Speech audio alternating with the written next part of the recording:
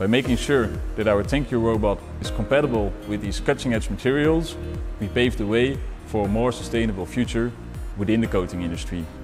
That's the Qlayers promise. A robot that adapts, a team that innovates, and results that impress. Hey, Mark from Qlayers here.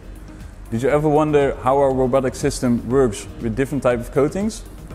Well, today we're going to take you behind the scenes of how our robotic coating system works with different types of coatings and how we make sure that it all works like a charm. Here at Qlayers, we understand that flexibility is key.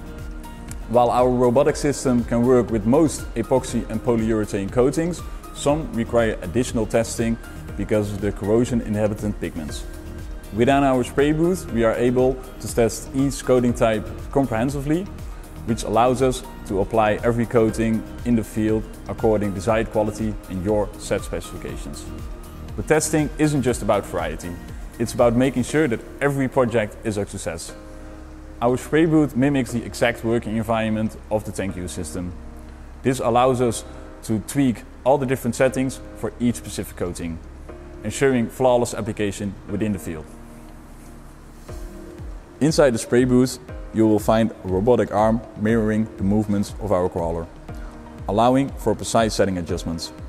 We've also integrated our paint system, featuring a 2K paint pump, a paint conditioning system, and our patented spray shielding system. By replicating real-world scenarios, we're able to find the best settings for each type of coating. While testing, we focus on a whole range of factors. Spraying temperature, spraying pressure, crawler driving speed, lane switch distances, but also what tips and filters to use. Also, by analyzing our data, we achieve maximum transfer efficiency. Because of this comprehensive approach, we achieve exceptional precision and control over our coating process. After each test, we gather valuable data. While currently we share some of this data with our operations team for optimal field use, the complexity of paint makes it challenging to test each individual, product exhaustively. However, the future is bright. Currently, we are working towards a digital twin process. By leveraging the data we have collected, this innovative approach will allow us to virtually simulate and identify the optimal spray conditions for even greater efficiency. We are also using the paint booth to test and develop a new version of our patented spray shielding system and new sensors.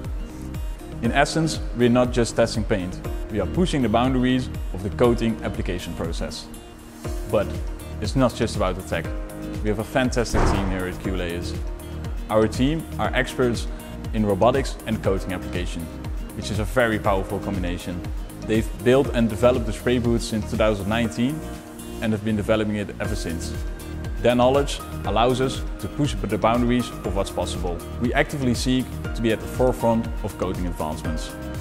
We do this by collaborating with coating manufacturers to test their latest innovations. By making sure that our 10Q robot is compatible with these cutting-edge materials, we pave the way for a more sustainable future within the coating industry. That's the Qlayers promise. A robot that adapts, a team that innovates, and results that impress.